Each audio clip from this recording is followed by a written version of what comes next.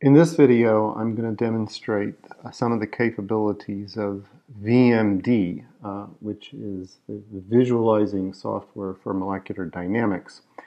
Um, I'm working here from a terminal window on my Mac rather than from Exceed on demand, but very soon we'll be uh, looking at VMD and that won't matter, and VMD will look exactly the same as if you'd launched it from a terminal window uh, using Exceed on demand. So to launch VMD, I'm going to change directory to the place where I expect to pick up uh, files that I want to look at. Um,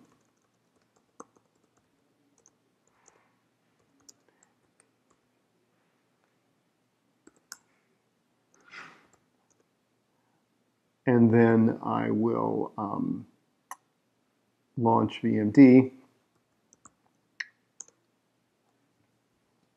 And in a few moments, I will see the graphical windows of VMD opening.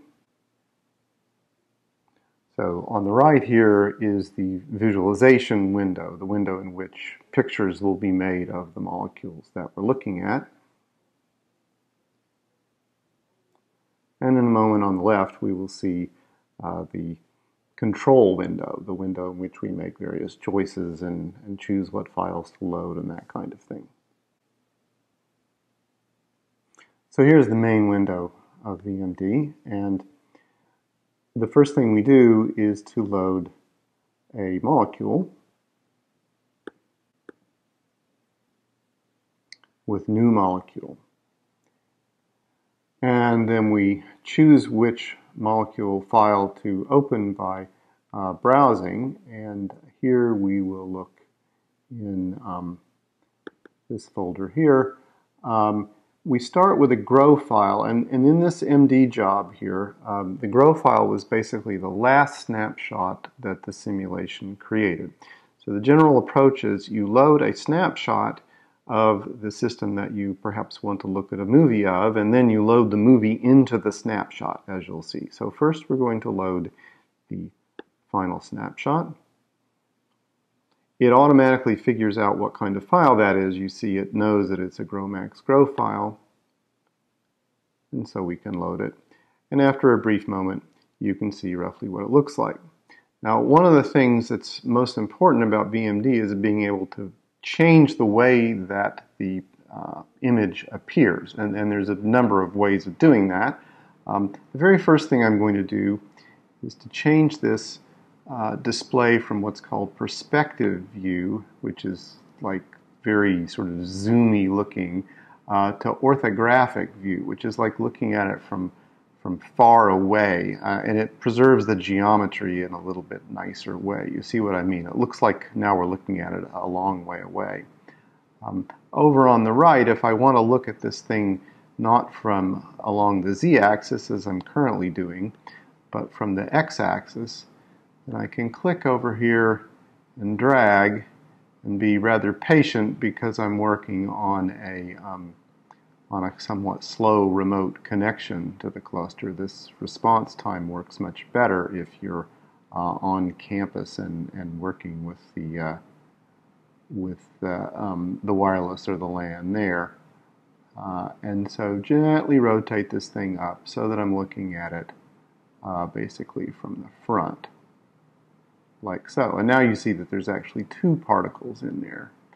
Um, another useful thing to do is to make a periodic boundary condition box appear, which I do by typing in the original command window where I launched VMD the, the command pbc box. And now I get this blue box, which is the limits of the system.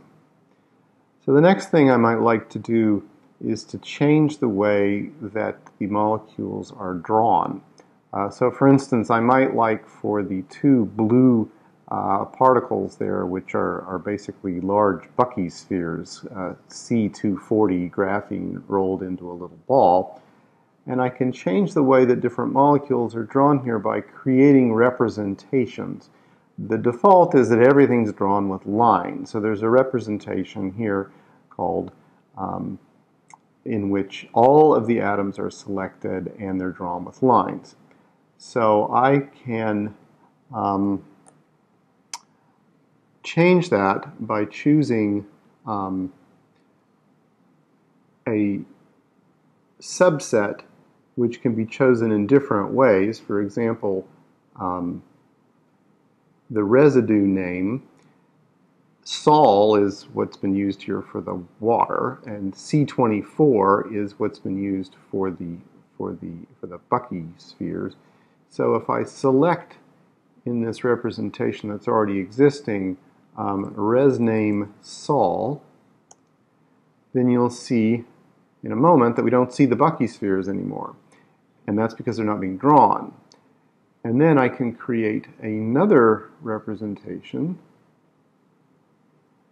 in which I say res name C24 and now they come back again and you might say what's the point and the point is because I can draw those atoms in a different way by changing the drawing method here to van der Waals spheres. And you can change the size of the sphere and so on, and indeed the color and other things um, to highlight those molecules that you want to see and make the ones that you don't want to see disappear. So if you're looking at you know, an ionic solution, you may want to see the ions very prominently as van der Waals spheres, but the water not very prominently, and so forth.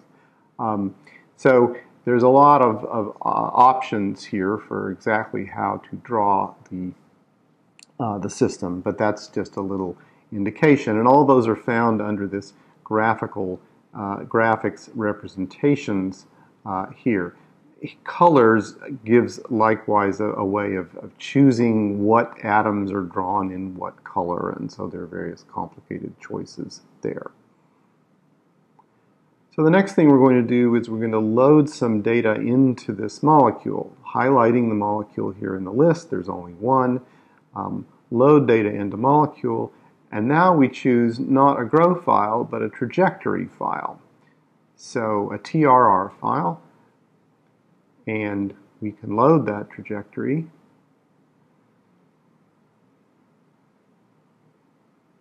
And it loads frame by frame and this will take a certain length of time. I think there should be about 100 frames here. And one thing we notice is that there are a lot of spurious lines that come from having drawn the water molecules as lines which occasionally cross the periodic boundary condition and confuse VMD. So I should have remembered to change this before, but when the movie's done loading, we will um, go back to the representations to make those water molecules drawn not with lines but with small van der Waals spheres, which has the similar effect of making the water tend to disappear, um, but uh, doesn't have this problem of the lines crossing the periodic boundary. So now the movie's finished loading and we can go back and change the representation, uh, the first of the two representations which was the water, to draw the water with van der Waals spheres, um, but with small ones. So we knock the size down progressively uh, by experience, I think around 0.2 is sort of a good size to make them disappear pretty completely uh, while still being vaguely aware that they are there. And at this point, we can um, play the movie. Uh, these are the movie playing controls, and the play button is here hidden under this resizing key.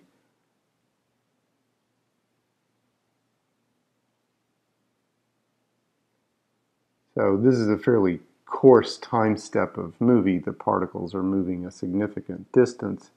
And, you know, roughly speaking, what we can see is that the water is dancing around and so are the particles uh, tending to fluctuate in their positions with respect to each other. Um, as I mentioned before, um, this movie would play considerably faster if I were not uh, operating on a, uh, on a remote uh, and rather slow uh, link to the cluster. Another important capability of VMD is the ability to save pictures and movies That is done using the render command here under the file menu. There are different choices for how that should be rendered, um, including PostScript, uh, for example, and a snapshot of the window itself, and some experimentation may be necessary in order to um, get decent results.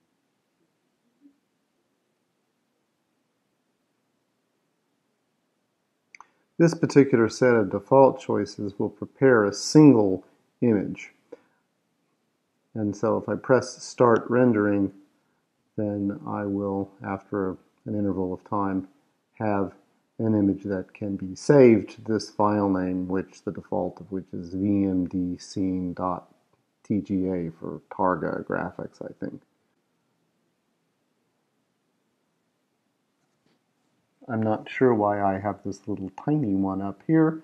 Um, here I have the image that I've saved, and if I were to go and check on the files, which I, I will in a moment, I should find that there's a new file called vmdscene.tga.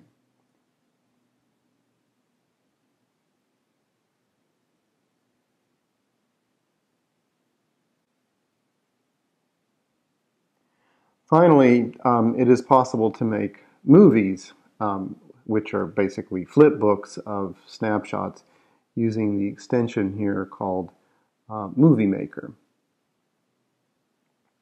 which opens a dialog box in which you choose the name of the movie, um, the number of steps in the trajectory which we have 102 frames. So for example, we might decide we want to make a 10 frame movie. We can decide how long we want that movie to actually run. Um, let's see what other settings there are. The renderer is snapshot, which we were using before. Uh, we don't want to uh, vary there are movies in which you basically rock or move the single image around in certain ways so that you can kind of look at it from different sides. Here what we have in mind is, is a trajectory.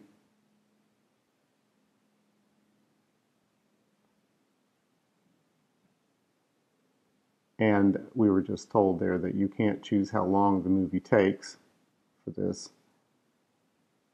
The format is how it gets saved, so animated GIF, for example, can be dealt with by other more sophisticated movie programs later and converted to MPEG or what have you. So probably animated GIF is the best choice. And if we press Make Movie, it should start rendering successive frames, which will appear and underneath in this uh, in this um, terminal window you can see it is succeeding to render uh, the individual frames which will eventually be combined. Now that the individual frames have been rendered they get combined into a movie uh, called untitled.gif which is in the folder user slash temp where we could have put it in some other spot. Um, and now we're done with movie generating. So now I will quit this program and look to see whether we've succeeded to make any of the files. So here we see the vmdscene.tga, that's the single snapshot. And if we cd the user slash temp, um, then we should be able to find the movie untitled.gif right there. And if we um, if we look at that with ls.l, we can see we are indeed the owner of that. So I can move that movie uh, back to my uh, home directory slub, um, and then work uh, CHE 597 colloids. And then if I CD back to that directory, I find those two files. So that's how you make snapshots in movies using VMD.